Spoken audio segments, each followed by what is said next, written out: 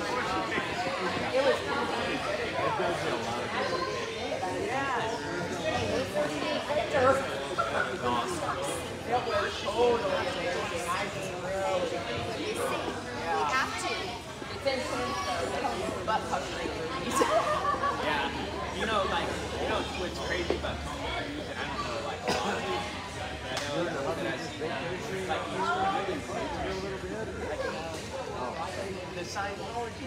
Well, yeah, I know.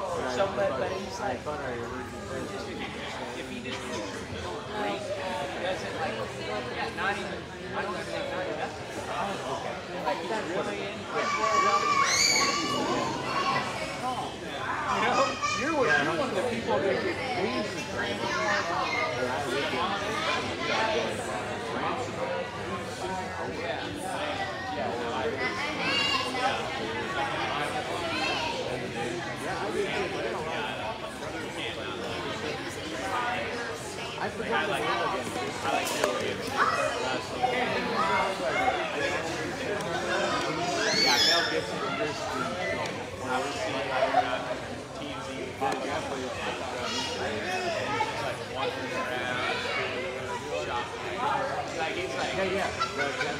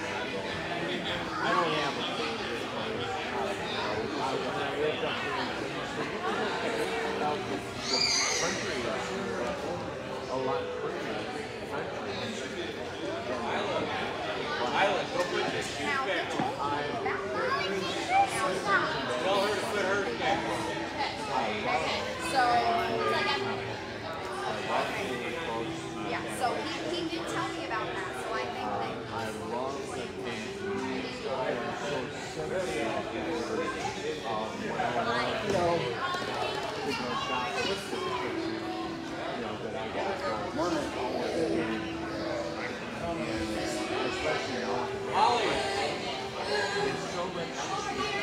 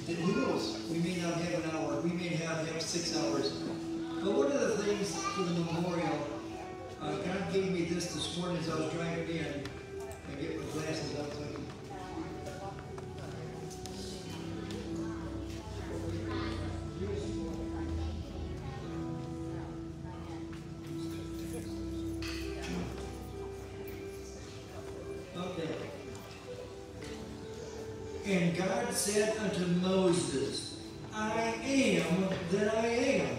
And he said, Thou shalt say thus unto the children of Israel, I am has sent me to you.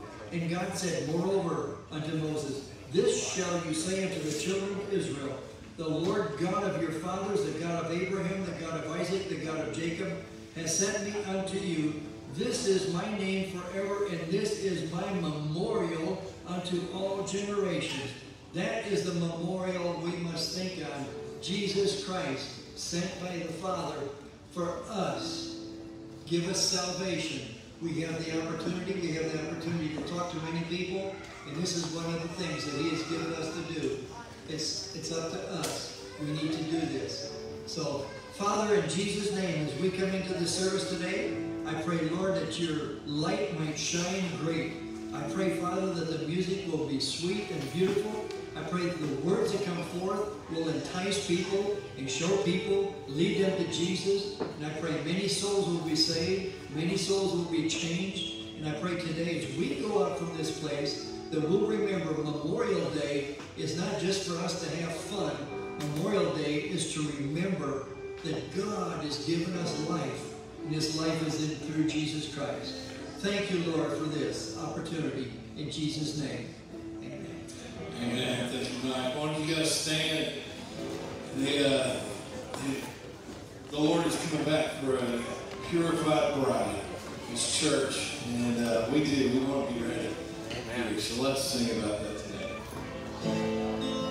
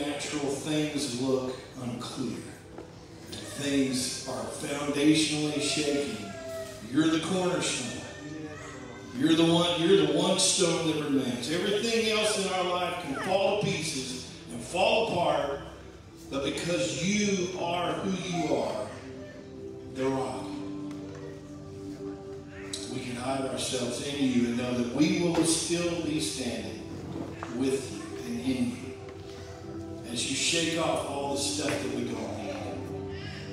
You rebuild. You remove the stuff of the old creature and you bring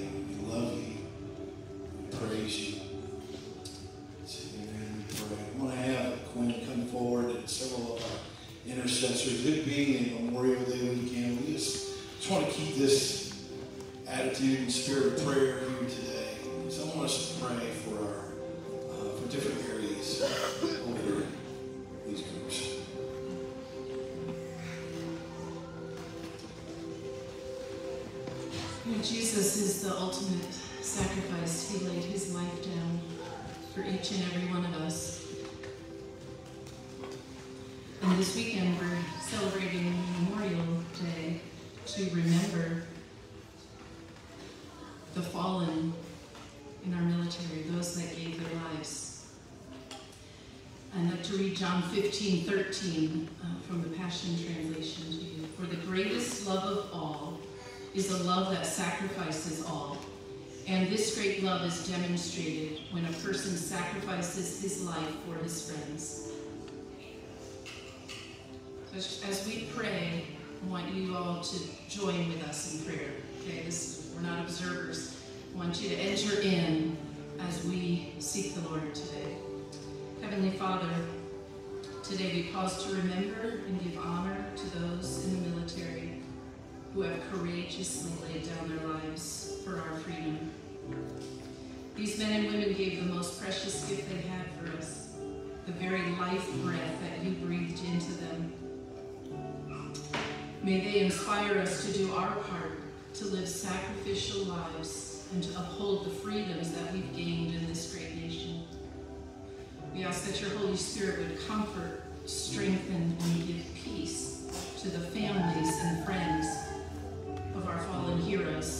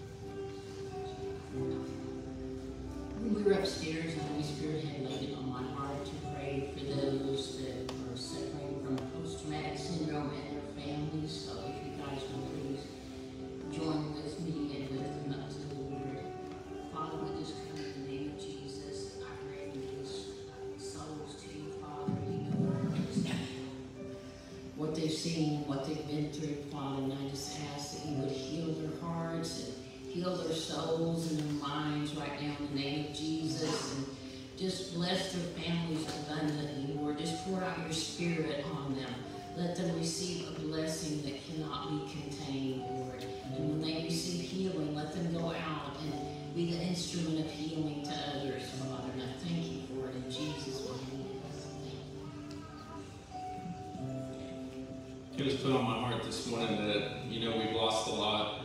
People have given it all, and, uh, and I want to personally thank any of our military, retired, current. I thank you guys for your service, but Lord, I just ask that you, we've lost a lot, but we're still losing them, Lord. We're, losing them every day from suicide, Lord, and I pray that, that you will intervene in their lives, that you will introduce yourself to them, you will put people in their lives so that they can see you and feel your love, Lord and not take their own life. Lord, I just come against that so strongly, Lord. It is such a tragedy in this nation. These men and women give so much to our country just to come home and to give it all under their own hands, Lord. And I just, I pray for them. I pray for their families. I pray for the ones we've already lost, but I pray for the ones that we haven't lost. Lord, I just ask for you to intervene in my name, I pray. as we were praying upstairs, I was just feeling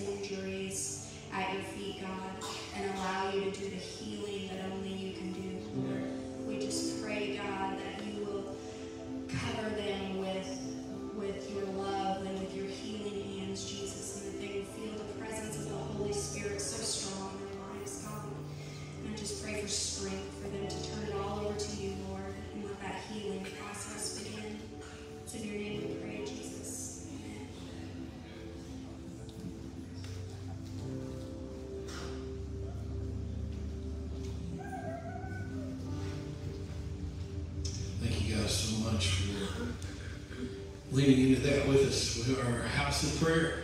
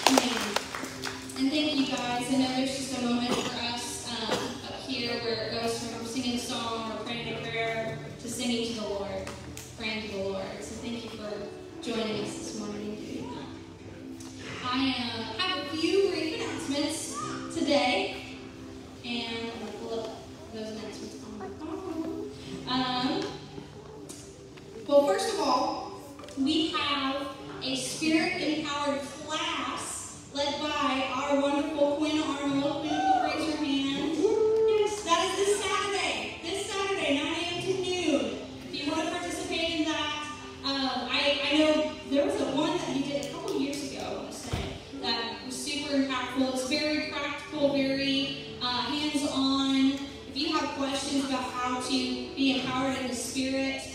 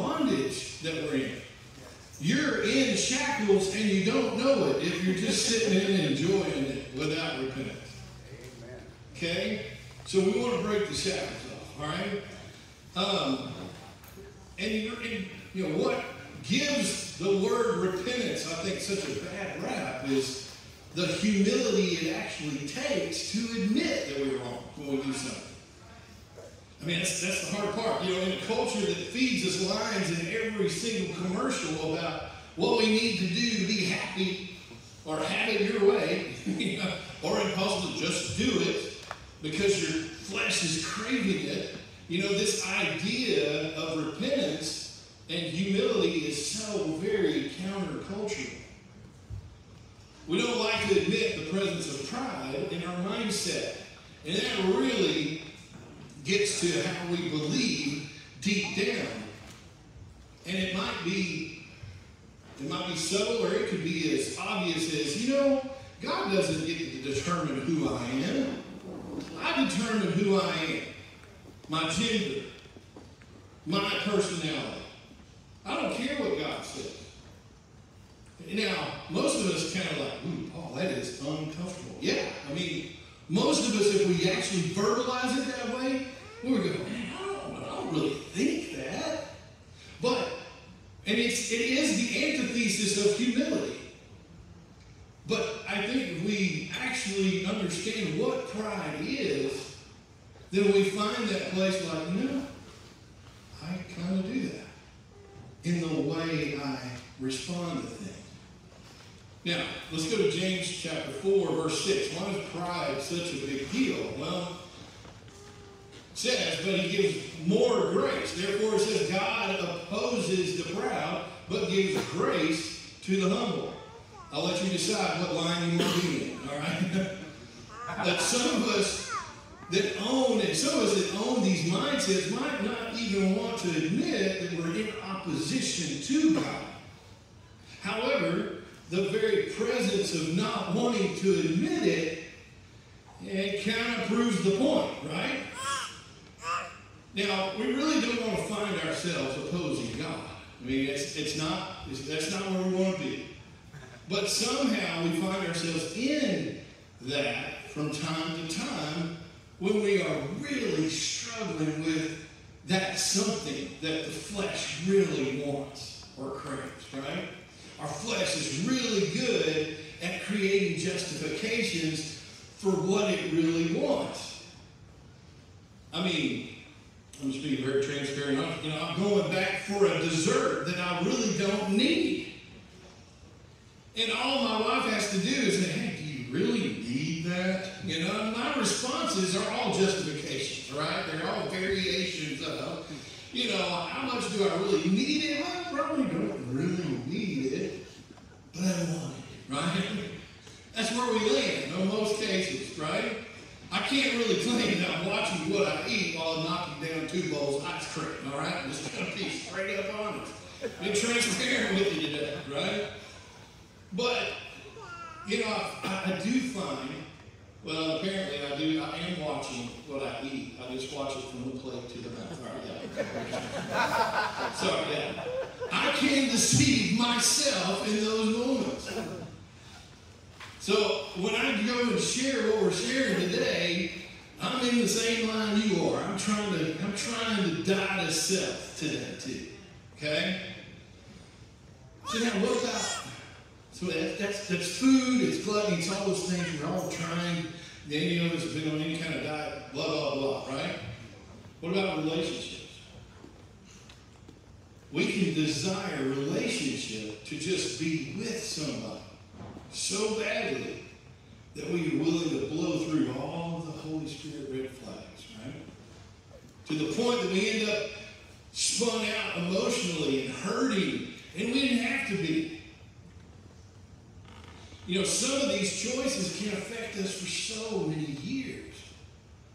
The enemy uses these opportunities from time to time to really lure us into a corner. And usually, especially in the area of relationships, rejection has the voice, right? Rejection can be the loudest voice.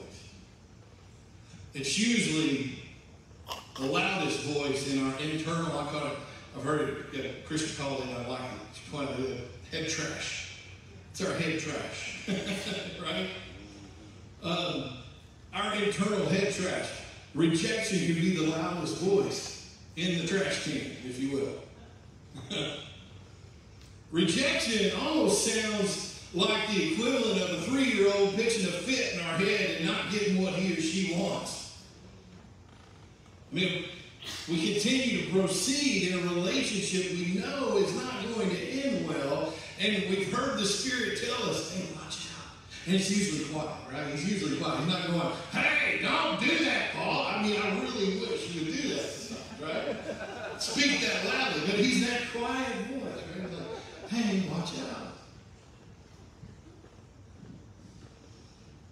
And then we've got our own peeps that God has so graciously placed in our lives that love us.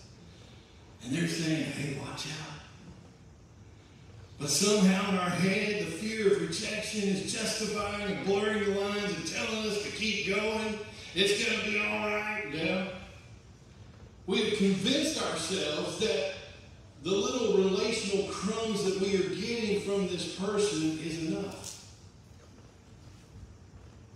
They got really quiet now. all right. The flesh is louder than the Spirit's voice sometimes. And we know deep down, we know deep down it isn't right. But our flesh really wants it. Because the enemy's dangling the carrot of feeling wanted.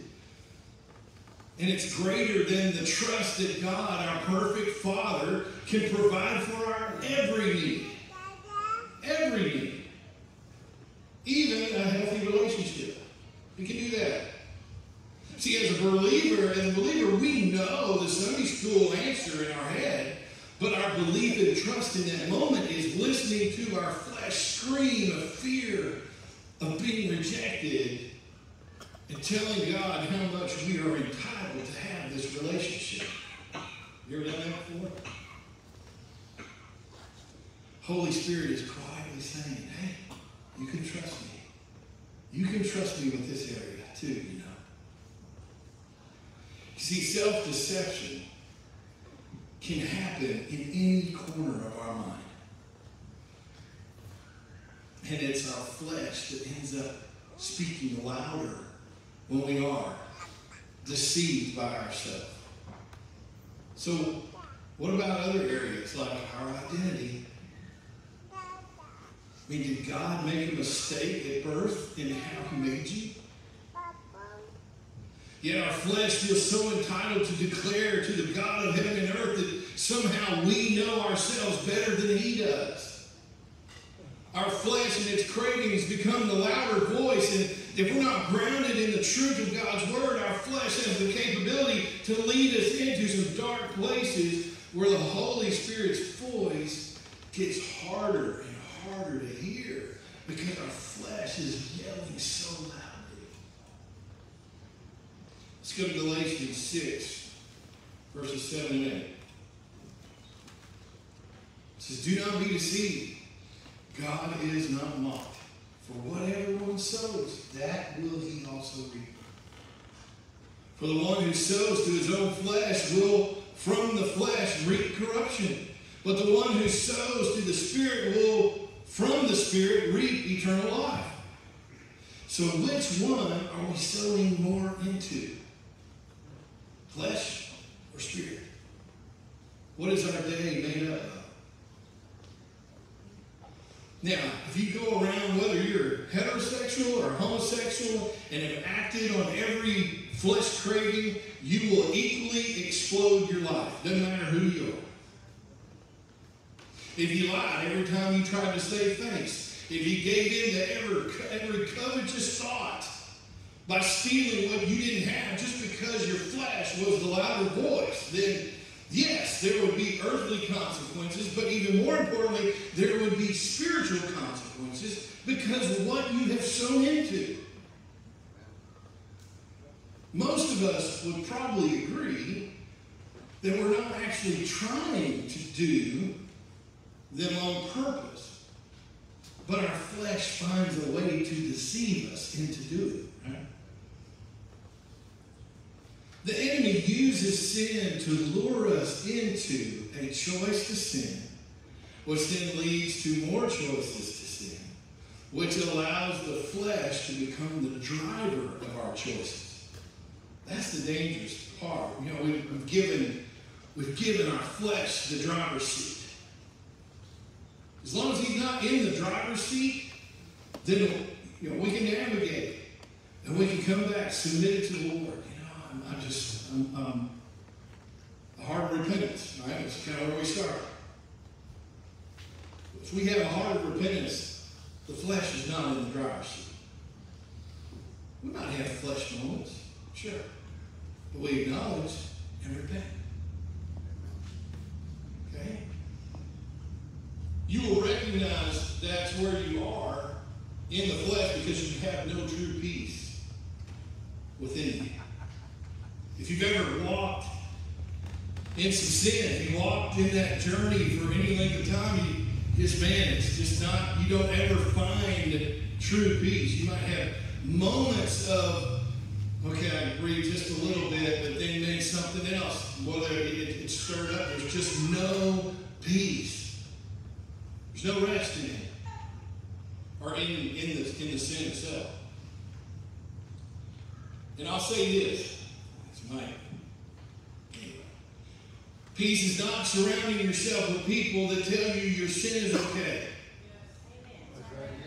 I'm sorry. That's false peace. And you are deceiving yourself. You know, in the same token, God's peace is not having religious people tell you how condemned you are. Because that's not who you are. In Christ, he says, therefore there is now no condemnation for those who are in Christ. So if we're hearing the religious spirit of condemnation, then that's not him either. Yes. Sharing the truth in love is giving us space to hear the truth in love and respond. The peace of God is what is absent when you are in the middle of the enemy's deception or your own.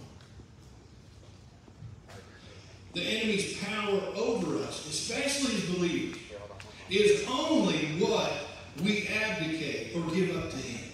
I want you to know that today. If Jesus has already paid for it on the cross, he's already defeated the enemy.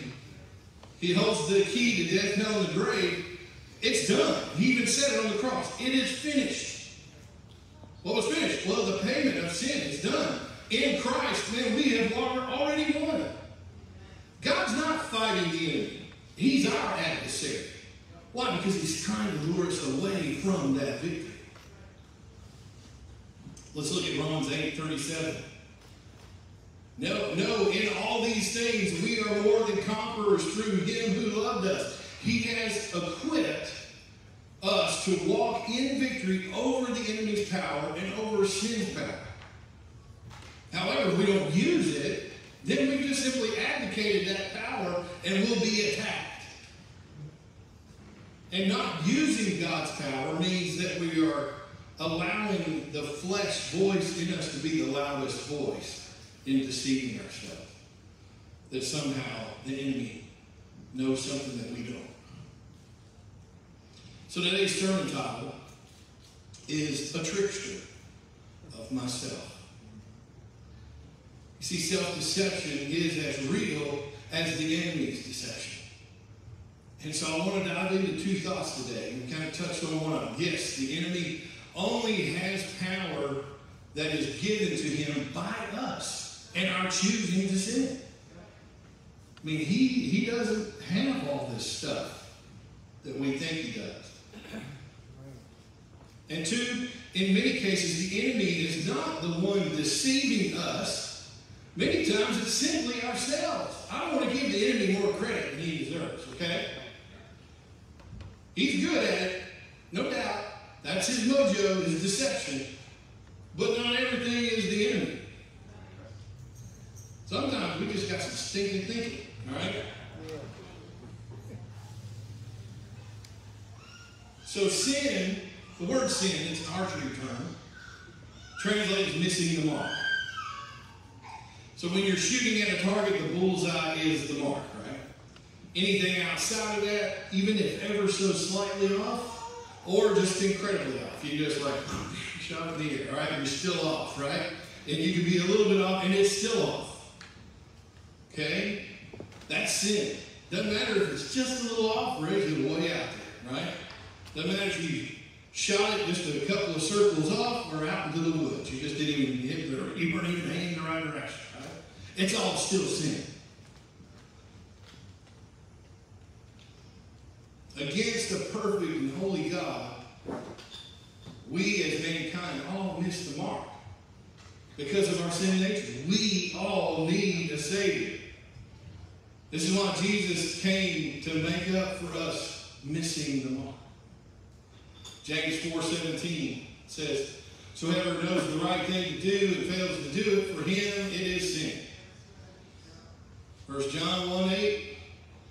If we say we have no sin, we deceive ourselves, and the truth is not in us. If we confess our sins, he is faithful and just to forgive us our sins and to cleanse us from all unrighteousness.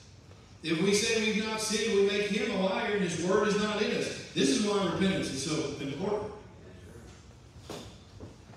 Mark 7, Jesus' words, it says, What comes out of a person is what defiles him.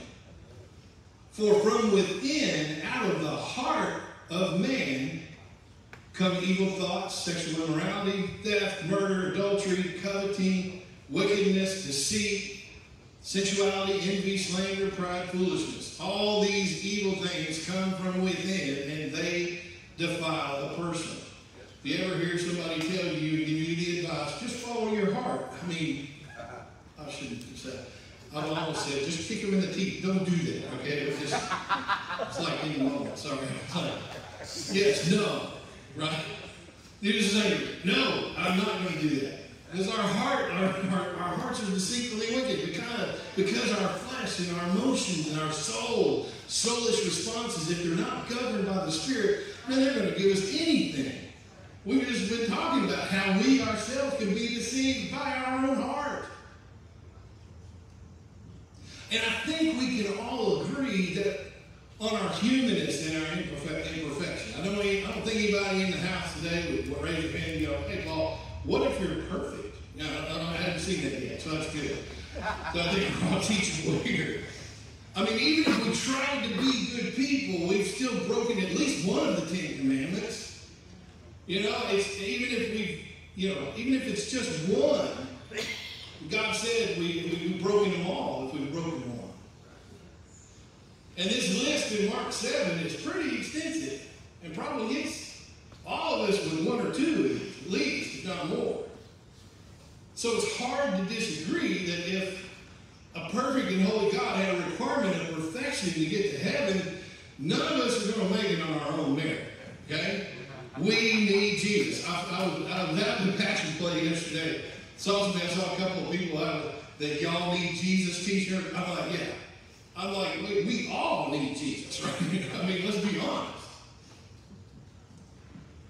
I mean, just as Jesus is a very real Savior for us to have relationship with, a very real God in heaven, we have a very real opposing adversary that John 10:10 says has come to kill, to steal, and destroy us.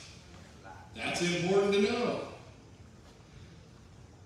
If that's our adversary's goal, then we probably need to understand how he operates. Well, deception is his calling card. Getting us to believe something other than the truth. I mean, isn't this how it started for himself as Lucifer in heaven, right? In the pride of wanting to be like God or as powerful as God in the garden when he was telling Eve, you know, hey, God didn't want you to know this because you're going to be like him. They all, in, in each of those, those cases, what is the enemy's tactic? He tries to get you to own something that God's already spoken about. Right? He tries to get us to see, think that we didn't have something that we already have.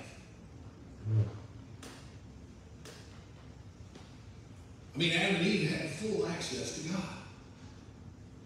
What do you need? But somehow Satan convinces us that somehow we're lacking. This is what he does. It's called deception. Sin is what the enemy uses to lure us away from our faith in God, to get us so deceived and deep into choosing sin or a lifestyle of sin, which is called lawlessness in the Word, that we would choose to renounce our faith because we desired a lifestyle of sin more than belief, surrender, and trust in God. Satan, our adversary, doesn't create anything new. I think, it, I think we need to understand that. He only produces counterfeits or fakes to the real thing. Have you ever noticed that? And this, they put back on your mud shoes. All right, here we go. He produces counterfeits to acceptance and community. Like you ever had, I'm not asking you to raise your hand or anything. Drinking buddies. They were only buddies because you were drinking, right?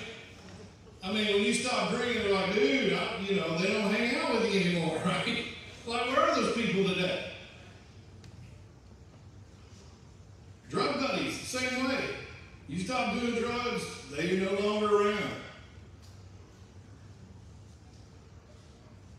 Here we go. The other counterfeit to community and acceptance is the LGBTQ community. Now hear me, and this is this is with love I'm saying this, right? Because we are all in this together. Because the enemy loves to deceive.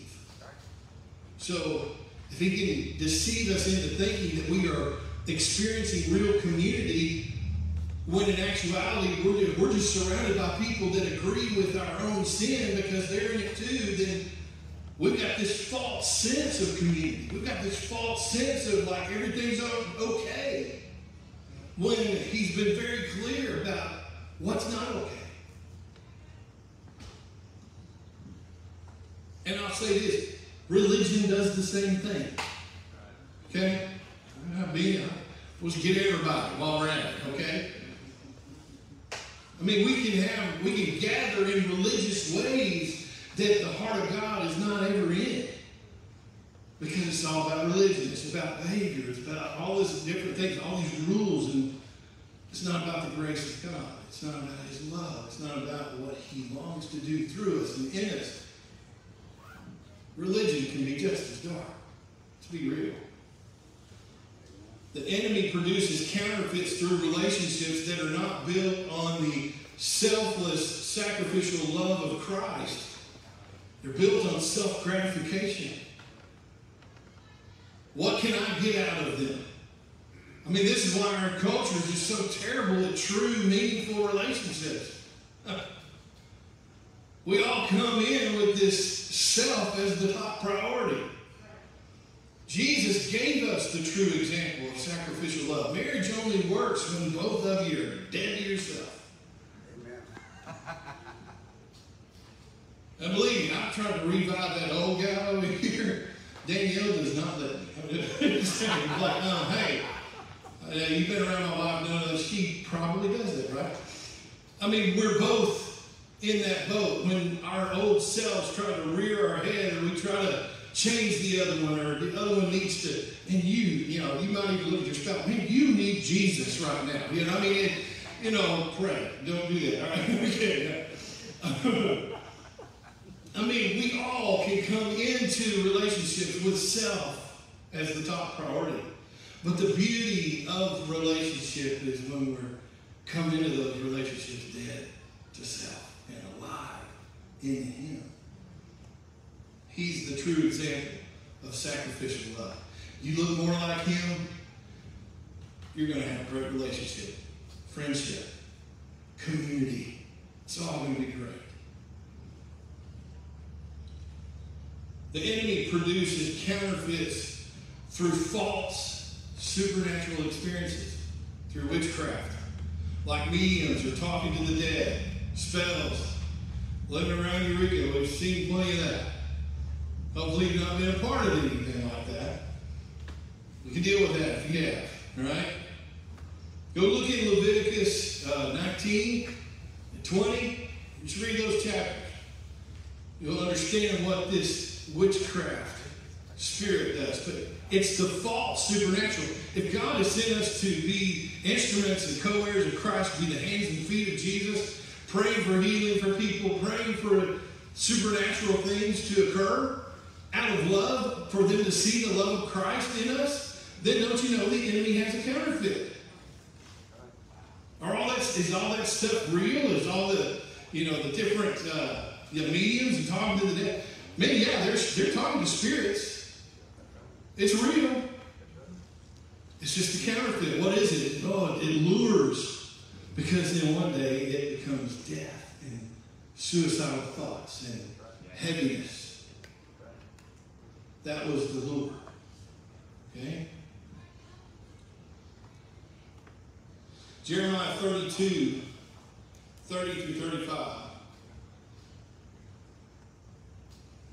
Let's just say God ain't happy right now on this passage, all right?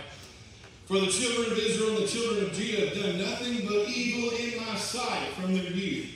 The children of Israel, Israel have done nothing but provoke me to anger by the work of their hands, declares the Lord. This city has aroused my anger and wrath from the day it was built to this day, so that I will remove it from my sight, because of all evil of the children of Israel and the children of Judah that they did to provoke me to anger, their kings, their officials, their priests, their prophets, and the men of Judah and the inhabitants of Jerusalem. They have turned their back to me and not their face. And though I have taught them persistently, they have not listened to receive instruction. They set up abominations in the house that is called by my name to defile it. They built high places of Baal in the valley of the son of Hinnom to offer up their sons and daughters to Molech. Does that sound familiar? Though I did not command them, nor did it enter into my mind that they should do this abomination to cause Judah to sin. That high place of Baal that we've offered up our sons and daughters to, what is that? It's abortion, it's sex, it's the god of Molech. Man, our, our, our culture does not want to hear that today. Why? Because sex is our God. They don't want anybody telling them what to do because they're going to be confronted with sin. None of us like that. But this is the truth of the Lord. That if we're going to do it, we need to do it His way. And there are curses upon this nation because of the choices that we've made to offer up our sons and daughters for the God of sex, the God of Moloch. Our flesh gets so inflamed and desirous of what we want that we get blinded to what is good and what is right and what is of the Lord.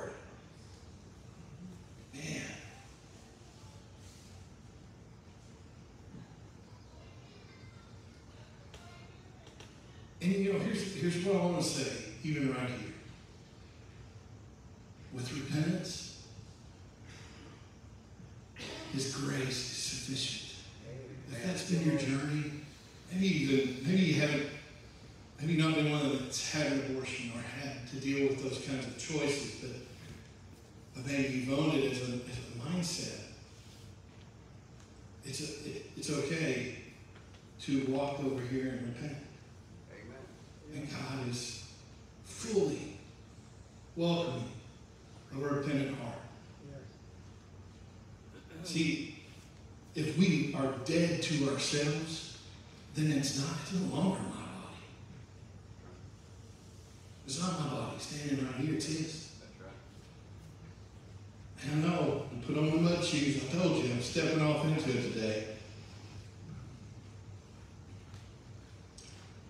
Lastly, the enemy will ultimately produce a counterfeit, which is called the false Messiah.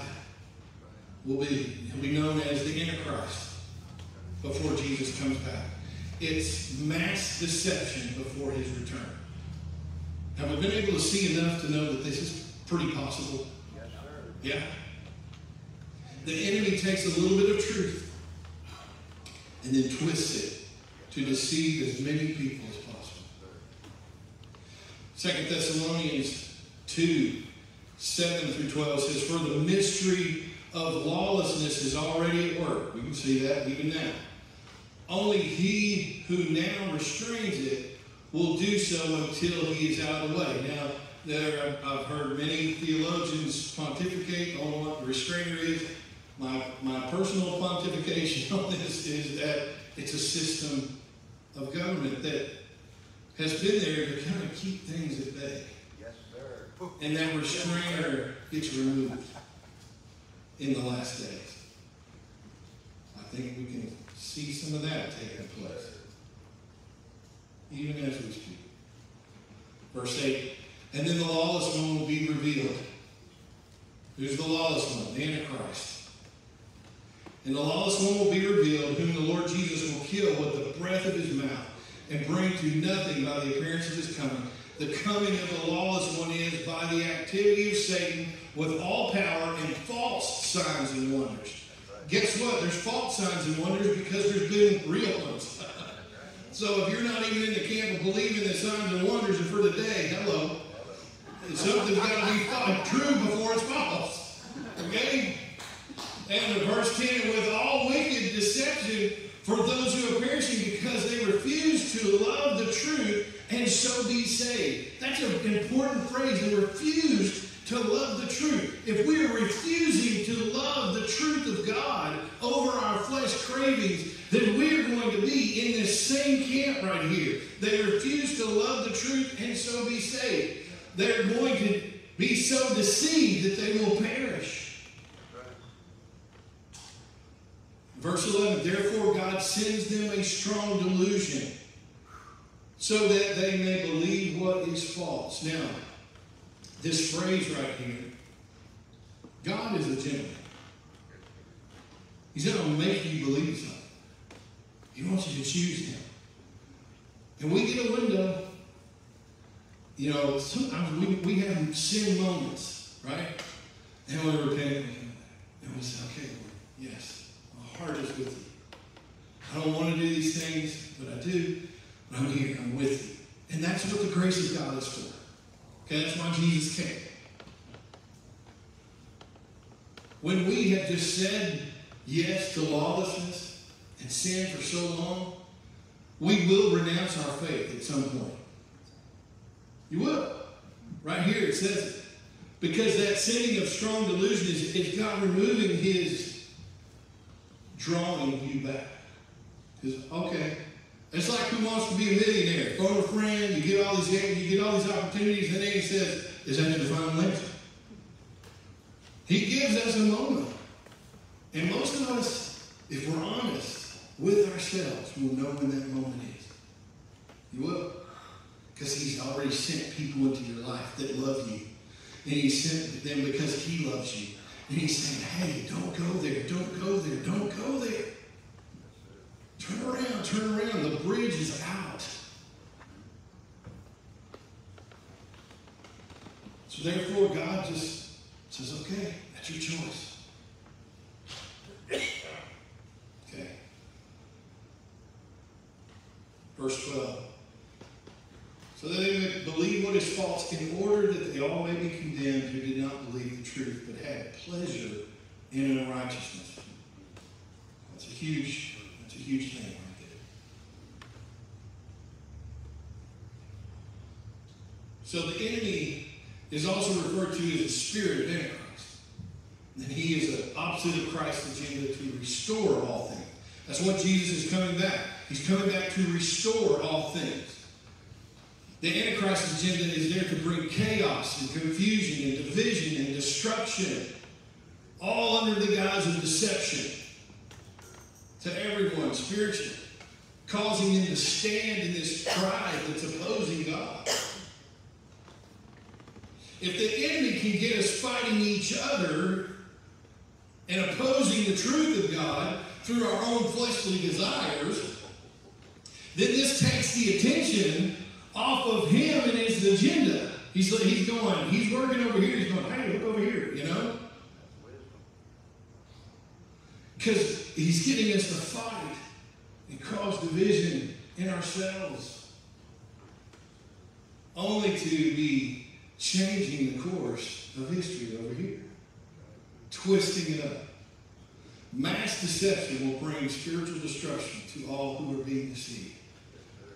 That's why we want to tell people about Jesus, what he's done for us. So, how does he do this initially? Well, the enemy, ever so slightly, begins to lure us away from the Word of God with lies, fleshly cravings. It leads to us adopting, adopting mindsets that make us think our way is better. Adopting lives that feed the flesh then leads us to adopting lifestyles of sin, which then lead to a debased mind or a seared conscience, which makes it more difficult to hear and see the truth anymore. You might ask, well, how do you know that, Paul? Well, let's go to Romans 1.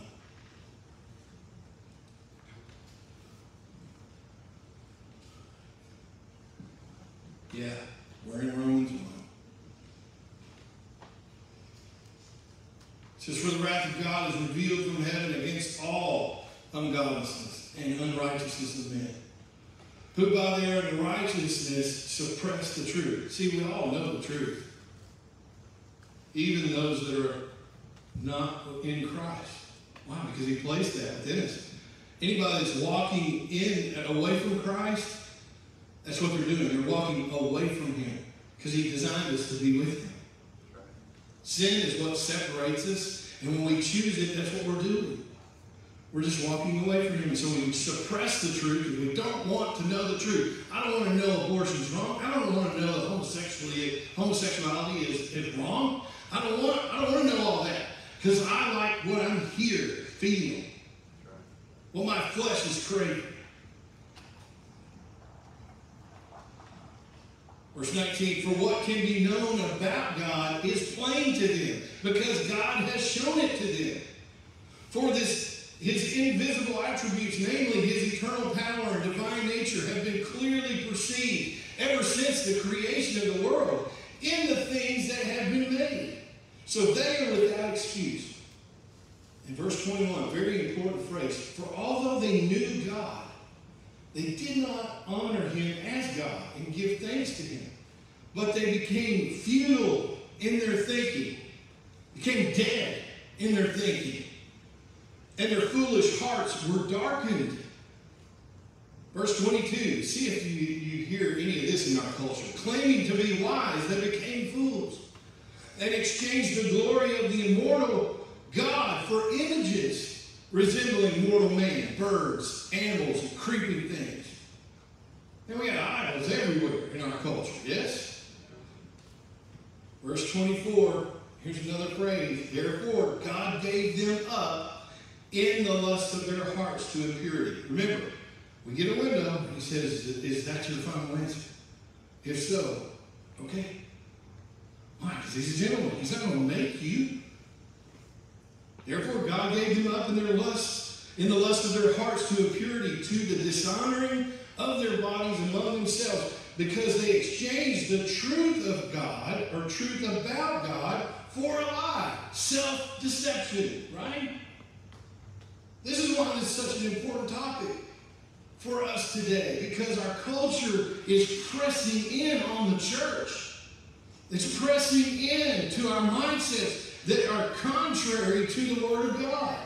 We must know what this says and guard it in our hearts. Exchange the truth about God for a lie and worship and serve the creature rather than the Creator, who is blessed forever. Amen. Verse 26. For this reason, God gave them up to dishonorable passions.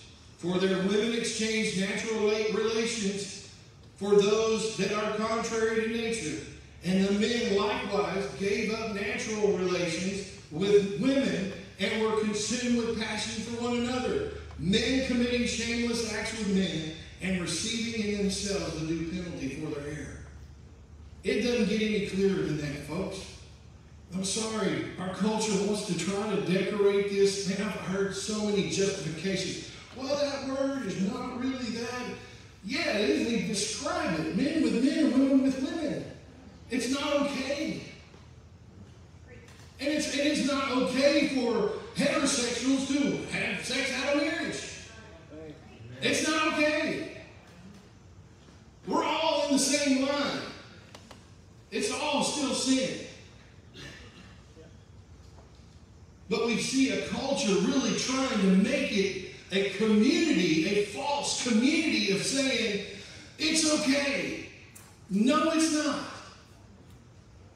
And we're going to pay for it dearly. And we are paying for it. Our kids are paying for it. Even right now.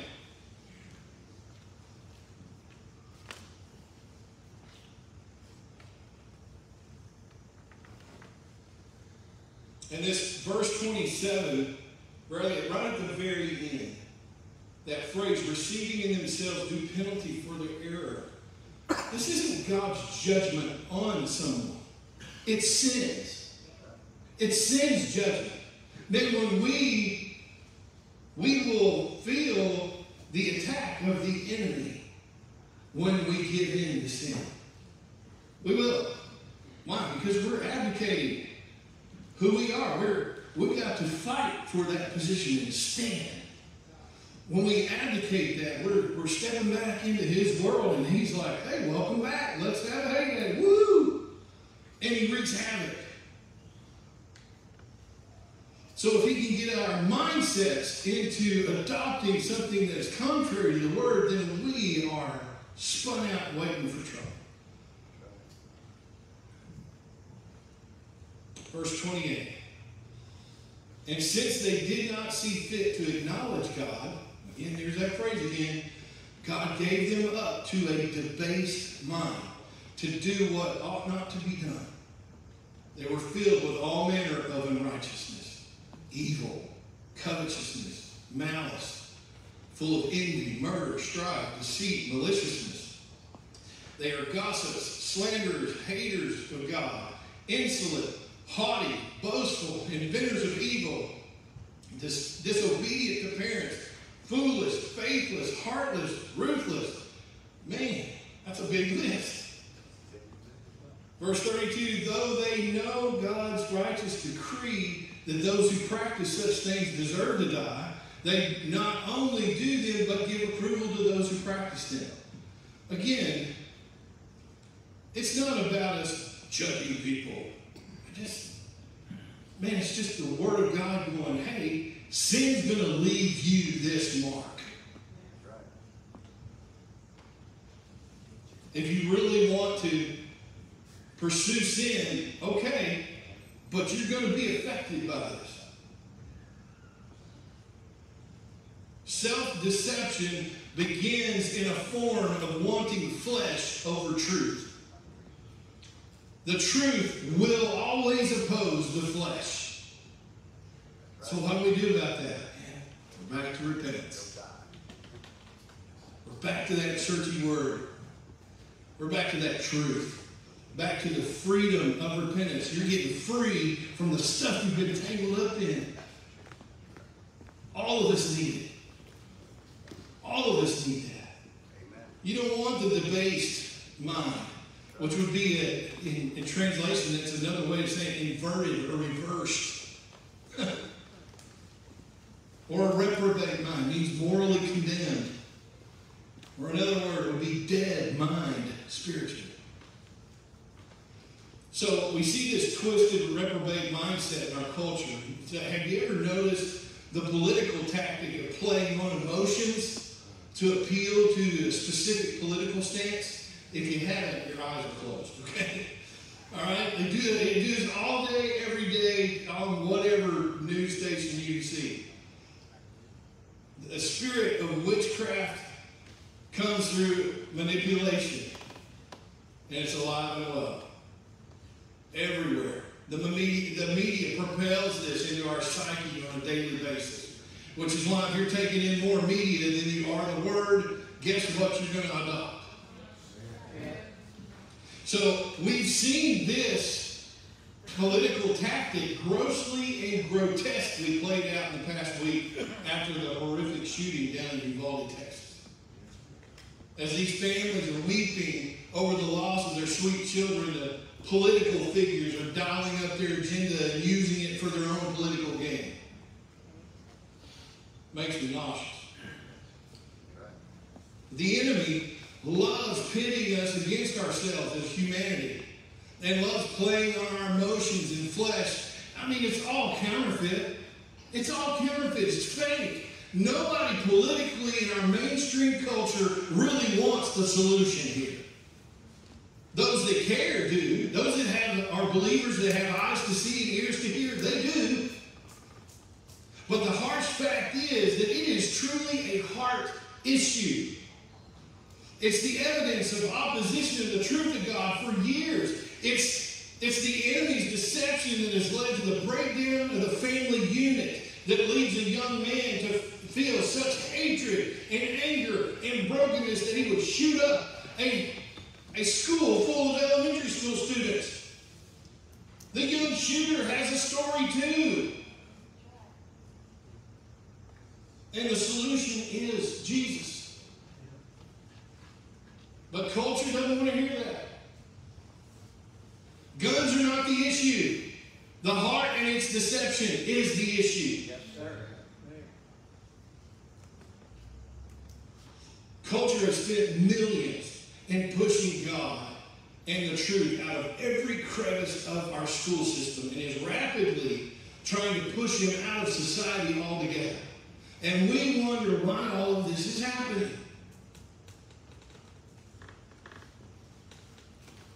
Somewhere in the quiet places of our sin nature, we are all capable of doing some very hurtful, disappointing things. Now we're being honest with ourselves. And sometimes we do those things. We don't like to be told we are wrong or that we are in sin. And we don't even like anything in opposition of our stance, whatever that may be, whether it's politically or doctrinally. Churches have divided over, you know, and made mountains out of molehills for decades, right? And we have a codependent culture and society that says, I can't function if you don't agree with my choices. And if you don't agree with my choices, then you hate me, and I'm going to make it against the law that you do. See how crazy that sounds? Just outright, yeah. But that's what we're in. We are capable of succumbing to the enemy's deception. Guess what? We are even capable of working with the enemy in deceiving ourselves. It doesn't quite sound right if we say it that way, does it? I mean, if we can't be honest with ourselves, then we're going to be deceived by the enemy. And, and, and we've just made his job really easy. Because we are really deceiving ourselves with lies that we know go against the truth of God. We probably wouldn't say we believe the lie if we were just told it straight up, right? In its purest form. Remember our relationship scenario? Remember our screaming three year old rejection? if I were to tell you, you know, you really don't believe God will provide someone in your life that loves Jesus and can be even better than you could try to find, do you? I mean, we would, if somebody were to say this to us, we'd kind of scoff at that, wouldn't we not? Well, yeah, yeah, I believe God. I mean, we would be quick to kind of, but we tend to cater to the lie and settle for someone that is not a person that should have even made the cut for consideration, much less be in a relationship with. Right? We know pornography's wrong, right? But late at night, you the computer, and the flesh feelings of entitlement, I deserve this, really make it difficult to say no. But if you got a telemarketing call asking you to support the human trafficking of women, young girls, and even young boys to pedophiles, you would probably hang up on them, would you not? You would probably call the police. I hope you would. But there is a lie that is believed that somehow your clicks on that website or you contributing more views to that website is not that big a deal. Like your clicks don't matter. They do. See, we deceive ourselves and we find ways to justify the deception and sin. If we are not attuned to what the enemy is doing, we may find ourselves waking up one day wondering how in the world the enemy has gained such access to our lives and is wreaking such havoc. And in fact, we might even in that moment try to blame God. Well, God, I did this. I'm, I'm, what are you doing? I thought good. Huh. The tape, bro. Right? There's, there's misuse that we need to address. Okay, here's the point. point of this entire teaching is, is, is not to make you feel horrible or full of shame. Again, you know, the grace of God is sufficient for us today that are in Christ, okay? So we're not, it's not through condemnation that we're going after this, all right? It is for us to see that through Christ we have power over the enemy. He's a deceiver. He's not all powerful. His power is determined by how much you want to give him through your belief in his lies. Then these lies are just stuff that's contrary to the truth, contrary to the Word of God. So, I mean, if we don't know the Word of God, that would be a great place to start. We need to know it. We need to be in it. I mean, we find a we find a way to connect with people that we love, right? They're out of our sight. We haven't seen them in a long time. You know, I've even you know, we've lost loved ones, and the longer it gets, the you want to keep the memory of who they are and what they look like, what their voice sounded like. So you might go watch a, an old video or a, you know, or an old picture that brings them to mind to refresh our memory. The longer that we're away from the Word, the more we forget. It's just our nature. It's who we are. It's, it's humanity. That's why he says the continual renewing of our mind is so important for us to have victory over this thing called flesh. So two things. Yes, we've got to be in the Word of God to know the truth. This is when the truth sets us free. And when we know the truth, we are fighting from a stance of victory instead of trying to obtain victory. Deception loses its power over our minds when the truth of God is revealed to our mind. That's why it's living and active. It's sharper than any two-edged sword. It's, there's something that happens when you crack open the Word, man. It just starts speaking to you. And that's Him. It's a good place to be. Two, being a part of the body of Christ, especially deep in relationship with those who God has strategically placed to be that in your life. You need to know Holy Spirit is going to use those people to help you see what you cannot. We none of us can say, well, I don't need people. Wow, really? Because deception is tricky. We've got to talk about it. we talked about this all morning. We can be deceived. And if you don't think you can, then you know, then you have to watch this thing over again, bro. I mean, like, you gotta rewind, all right? Because I think we can understand we can be deceived. It's tricky, and it usually needs another set of eyes. Because man, we're in it, oh man, our flesh wants to really do this. I really want a relationship with this person, or I'm, you know, justifying my second donut.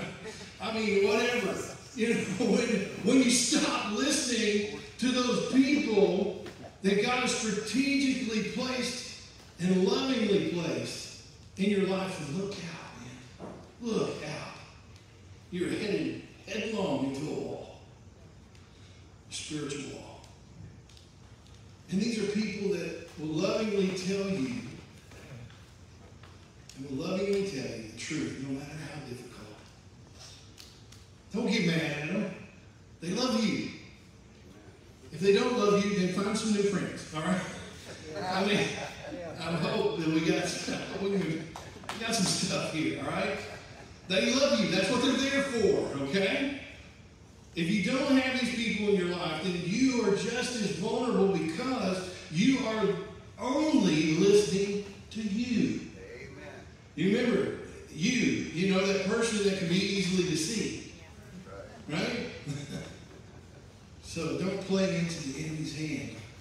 Sign up for the enemy's team against yourself. So how does this happen? We ignore our peeps in our life. we speak out loud statements that are 100% opposed to who God says you are, what He says you can do through Him, and what He has promised for you. God never lies, and He can be 100% trusted with our life. Why don't you with?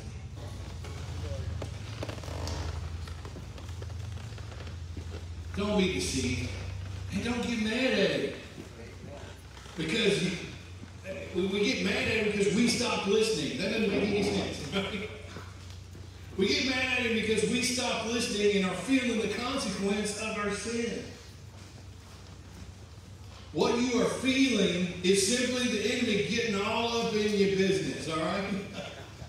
Because you're choosing flesh over spirit. Learn to hear his subtle voice, those quiet Holy Spirit red flags, and obey his voice instead of flesh voice today. Let's pray together. Heavenly Father, we just come before you today. We thank you so much for the truth of your word. We thank you for its rock solid foundation, that there is no other truth apart from you. You are the truth. You're the only truth. And you're the only way. So, Lord, we just ask that you would give us eyes to see, ears to hear that today. Grace and mercy, and you have paid the penalty of that sin. If we will just repent, if we will turn from that, do a 180 from that old person and say yes to you. You will give us those eyes to see. You will give us those ears to hear. You will forgive us of our sin. You will forgive us of our pride that says, I got it figured out better than you, God. Oh, God, help us today. We repent. We repent of pride. We renounce you, spirit of pride. You have to go. Holy Spirit, fill us right now with humility. Fill us with your spirit, with your love, with your joy, with your peace, patience, your kindness, your goodness, your faithfulness, your gentleness, your self-control. It's only by your power that we can walk in it. So, Lord, we submit to you today. Ask that you just continue changing us, molding us, and shaping us into who you want us to be. We're done doing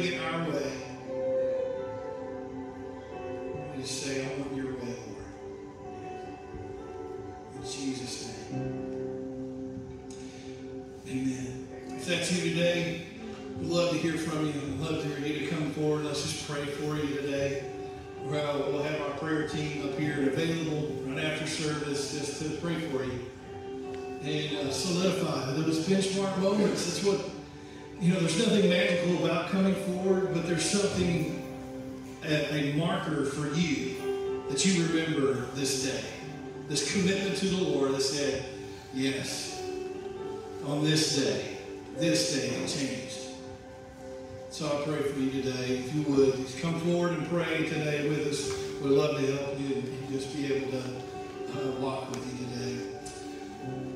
Thank you so much for being here, and I appreciate each and every one of you. And uh, everybody stay safe this weekend and walk in the victory of the Lord.